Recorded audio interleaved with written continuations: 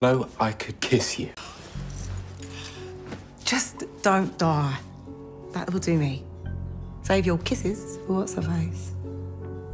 Who? You're acting different around her. She's just an associate. She's just a trainee. She doesn't know anything.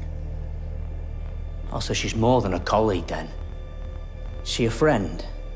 She family? She's no one. Let her go.